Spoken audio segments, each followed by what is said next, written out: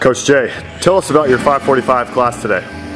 545 is excellent. I love the way they show up in the morning and give it their all. They really make me excited for the rest and set the bar high for the rest of the day.